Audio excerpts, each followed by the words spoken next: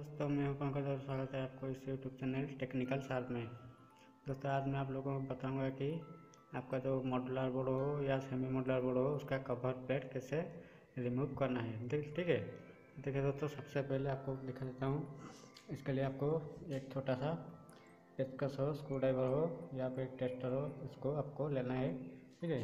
और उसको देखना लेफ़्ट साइड हुआ, हो या राइट साइड इस तरह एक खाली जगह दिया जाता है, ठीक है? यहाँ पे सेट हुआ है, ठीक है? आपको क्या करना है, आपको यहीं पे इस पेचकस को स्क्रू ड्राइवर को लगाना है। लगा के इसको इस तरह इस तरह उठाना है, ठीक है?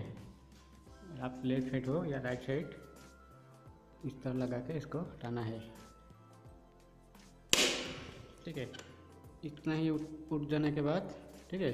आपको क्या करना है, आपको हाथों में इसको इस तरह खींचना है। वो टूटेगा नहीं, भांगेगा नहीं, कुछ भी नहीं होगा, ठीक है? फटेगा भी नहीं। आपको इस तरह रख के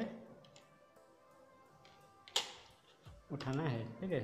फिर आपको काम करने के बाद आपको इस तरह फिर से पुश कर देना है, ठीक है? आपका पहला जैसा हो गया।